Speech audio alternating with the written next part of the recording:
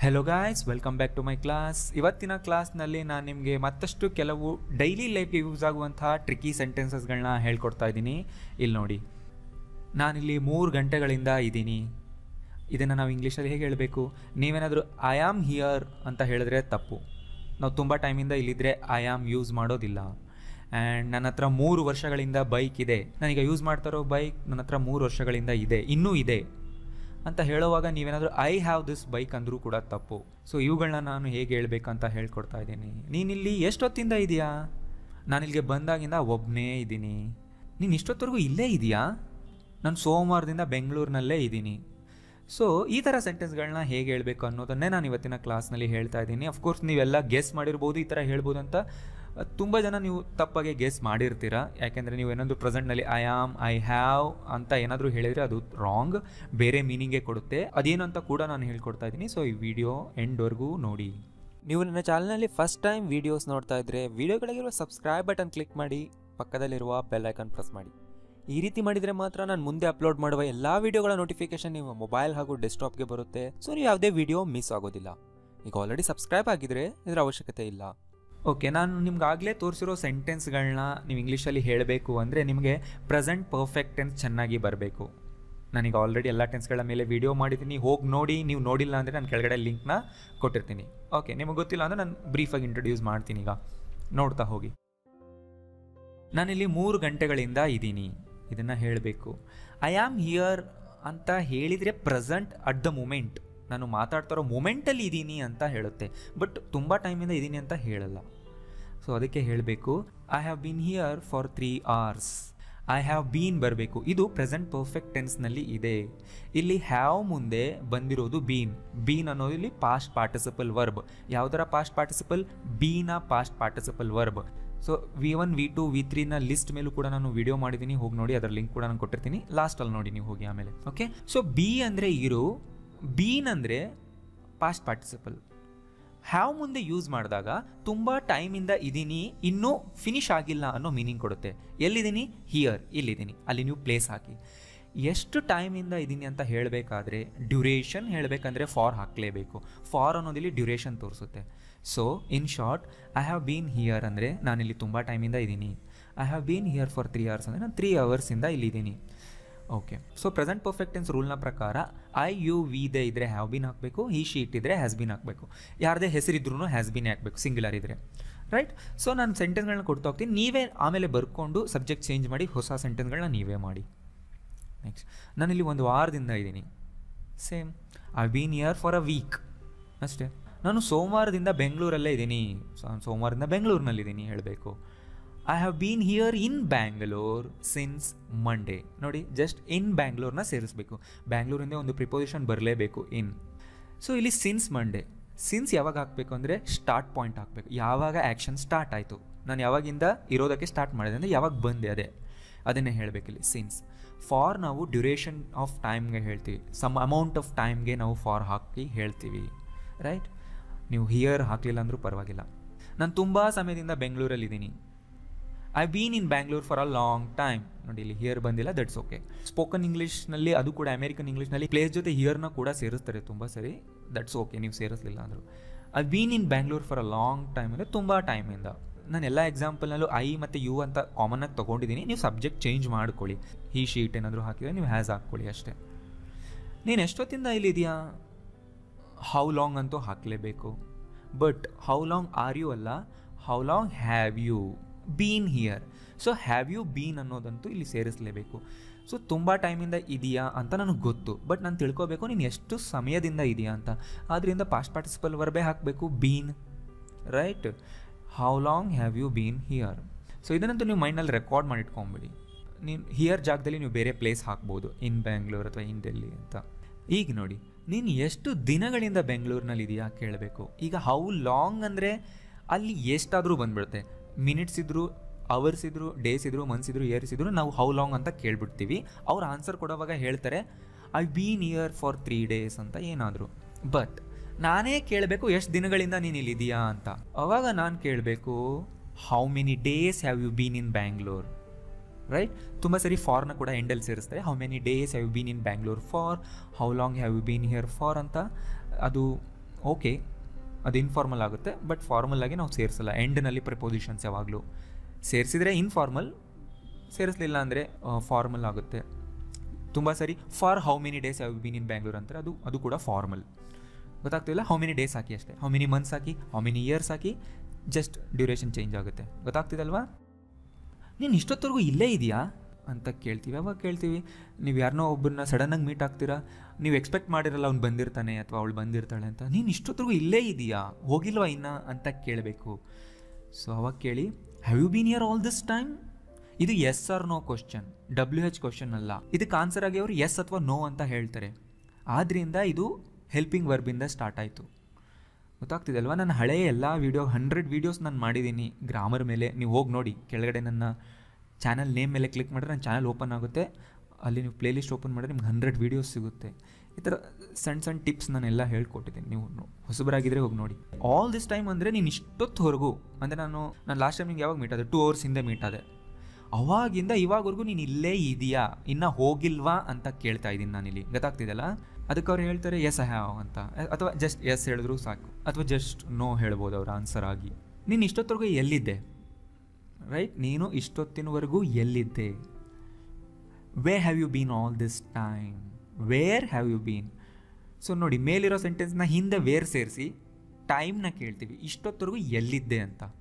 Where have you been all this time ಅಂದರೆ ಇಷ್ಟೊತ್ತು ಏನು ಟೈಮ್ ಹೋಯಿತು? ಅಷ್ಟು ಟೈಮ್ ನೀನು ಎಲ್ಲಿ ಹೋಗಿದ್ದೆ ಅಥವಾ ಎಲ್ಲಿದ್ದೆ ಅಂತ ಕೇಳಿ.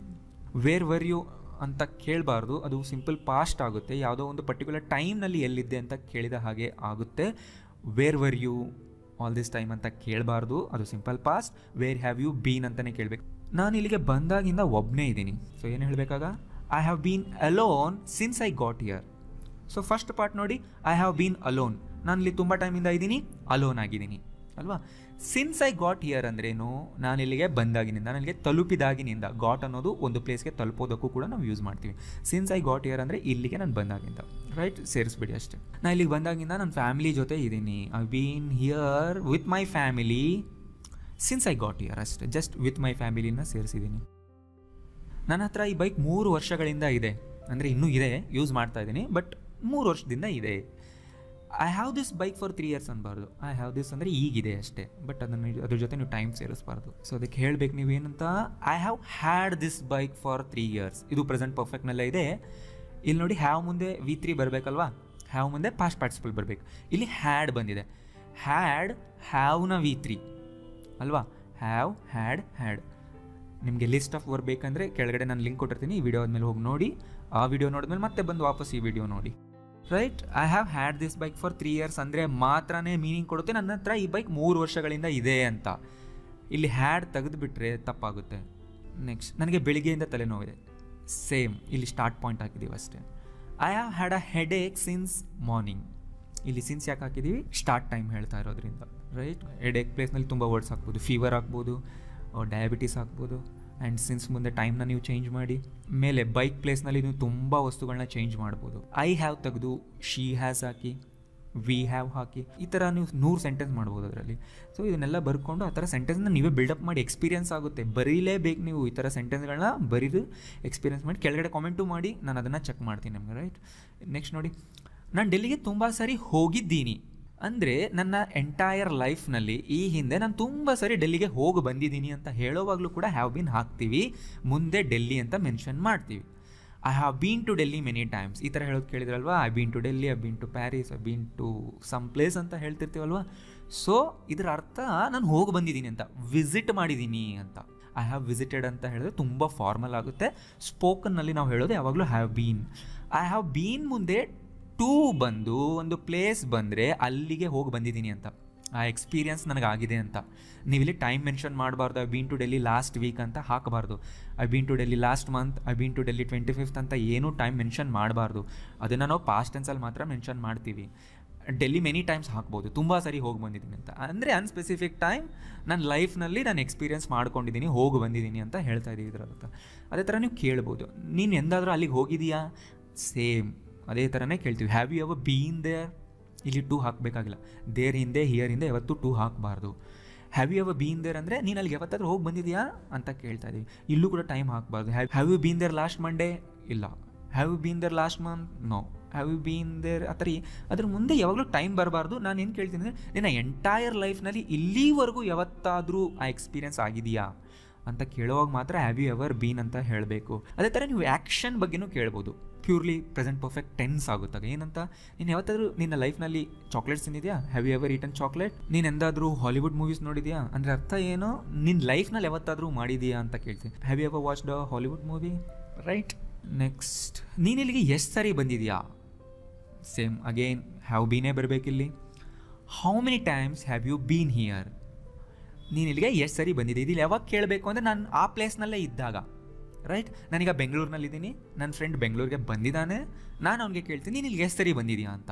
How many times have you been ಅದಕ್ಕೆ ಅವ್ನು ಆನ್ಸರ್ ಹೇಳ್ತಾನೆ, ನಾನು ತುಂಬ ಸರಿ ಬಂದಿದ್ದೀನಿ.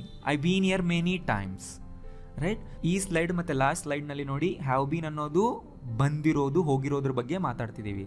ಸೊ ಸೆಂಟೆನ್ಸ್ನ ಅಬ್ಸರ್ವ್ ಮಾಡಿ ಚೆನ್ನಾಗಿ. ಇರೋದು ಕೂಡ ಹೇಳುತ್ತೆ ಎಕ್ಸ್ಪೀರಿಯನ್ಸ್ ಆಗಿರೋದು ಕೂಡ ಹೇಳುತ್ತೆ. ಇಲ್ಲಿ ಸ್ವಲ್ಪ ನೋಡಿ, ಈಗ ಸ್ವಲ್ಪ ಸೆಂಟೆನ್ಸ್ ಚೇಂಜ್ ಆಗುತ್ತೆ. ನೀನಿಲ್ಲಿ ಎಷ್ಟು ಹೊತ್ತು ಇರುತ್ತೀಯಾ? ನೀನಿಲ್ಲಿ ಎಷ್ಟು ಸಮಯ ಇರುತ್ತೀಯಾ? ಕೇಳಬೇಕು. ಅಂದರೆ ನಾನಿಲ್ಲಿ ಪ್ರೆಸೆಂಟ್ ಬಗ್ಗೆ ಕೇಳ್ತಾ ಇದ್ದೀನಿ. ನೀನೀಗ ಬೆಂಗಳೂರಿಗೆ ಬಂದಿದೆ ಅಲ್ವಾ ಎಷ್ಟೊತ್ತಿರ್ತೀಯ ನೀನು ಬೆಂಗಳೂರಿನಲ್ಲಿ? ಎಷ್ಟು ಸಮಯ ಇರ್ತೀಯ ಅಂತ ಕೇಳಬೇಕು. ಆಗ ನಾನು ಪ್ರೆಸೆಂಟ್ ಟೆನ್ಸ್ನಲ್ಲೇ ಕೇಳಬೇಕು how long are you here how long are you here ಅಂದರೆ ನಾನು ಪ್ರೆಸೆಂಟ್ ಟೈಮ್ನ ಬಗ್ಗೆ ಮಾತಾಡ್ತಿದ್ದೀನಿ. ಗೊತ್ತಾಗ್ತಿದೆ ಅಲ್ವಾ ಈಗ ನಿಮ್ಮ ಫ್ರೆಂಡ್ನ ಫಸ್ಟ್ ಟೈಮ್ ನೀವು ಮೀಟ್ ಆಗ್ತೀರಾ, ಬೆಂಗಳೂರಿಗೆ ಬಂದಮೇಲೆ, ಅವಾಗ ಕೇಳ್ತೀರಾ, ನೀನು ಇಲ್ಲಿ ಎಷ್ಟೊತ್ತಿರ್ತೀಯಾ? ಎಷ್ಟು ದಿನ ಇರ್ತೀಯಾ? ಕೇಳಬೇಕಲ್ವಾ? ಅವಾಗ ಕೇಳಿ how many days are you here ಅಥವಾ how long are you here ಅಂತ. ಇದ್ದಾಗ ಕೇಳಬೇಕು ನೀವು ಅದು. ಅದಕ್ಕೆ ಅವ್ರು ಹೇಳ್ತಾರೆ, ನಾನು ಇಲ್ಲಿ ಶನಿವಾರದವರೆಗೂ ಇರ್ತೀನಿ ಅಂತ. ಅವಾಗ ಹೇಳಬೇಕು I am here until Saturday ಯಾಕೆ ಐ ಆಮ್ ಬಂತು? ಸ್ಯಾಟರ್ಡೆ ಅನ್ನೋದು ಫ್ಯೂಚರ್ ಅಲ್ವಾ? ಎಸ್ ಆಲ್ರೆಡಿ ಅವ್ರು ಬಂದಾಗಿದೆ. ಸ್ಯಾಟರ್ಡೆವರೆಗೂ ಇರ್ತೀನಿ ಅಂತ ಹೇಳಬೇಕಲ್ವಾ? ಆದ್ದರಿಂದ ಅವ್ರು ಹೇಳಬೇಕು I am here until Saturday ಅಂತ. ನಾನಿಲ್ಲಿ ಮೂರು ದಿನ ಇರುತ್ತೇನೆ. ಸೊ ಬಂದ ಮೇಲೆ ಟೋಟಲ್ ಡ್ಯೂರೇಷನ್ ಹೇಳಬೇಕು. ನಾನೀಗ ಬಂದಿದ್ದೀನಿ ಬೆಂಗಳೂರಿಗೆ. ನಾನಿಲ್ಲಿ ತ್ರೀ ಡೇಸ್ ಇರ್ತೀನಿ. ಟೋಟಲ್ ತ್ರೀ ಡೇಸ್ ಇರ್ತೀನಿ. ಇವತ್ತು ಸೇರಿಸ್ಕೊಂಡು. ಅವಾಗ ಹೇಳಬೇಕು I am here for three days in total ಇವತ್ತು ಸೇರಿಸ್ಕೊಂಡು ತ್ರೀ ಡೇಸ್ ಇರ್ತೀನಿ. ಇದನ್ನು ಪ್ರೆಸೆಂಟ್ನಲ್ಲೇ ಹೇಳಬೇಕು ಫ್ಯೂಚರ್ನಲ್ಲಿ ಹೇಳಬಾರ್ದು. ಫ್ಯೂಚರ್ನಲ್ಲಿ ಯಾವುದು ಹೇಳ್ತೀವಿ ಅಂದರೆ, ನಾನು ಅಲ್ಲಿ ಮೂರು ದಿನ ಇರುತ್ತೇನೆ. ಸಿಚುವೇಶನ್ ನೋಡಿ, ನಾನೀಗ ಮೈಸೂರಿನಲ್ಲಿ ಇದ್ದೀನಿ.